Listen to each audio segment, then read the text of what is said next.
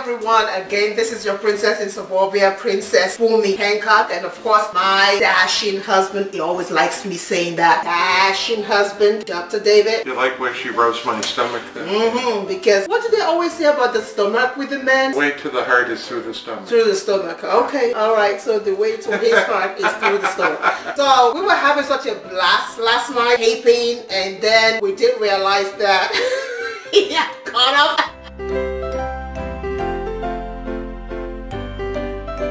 We added on the impact of trying to bring the two families together with the boys and the girls, it would things would just collapse and we were just at, at least I think focused on trying to even understand what is going no, on. I think I made a mistake. I think if I had it to do all over, I would not have moved all the way out to California so far away from the girls. Okay. So I Okay. think I think uh, if hindsight being 2020, Mm-hmm. I think I would have uh, maybe taken you to Michigan instead.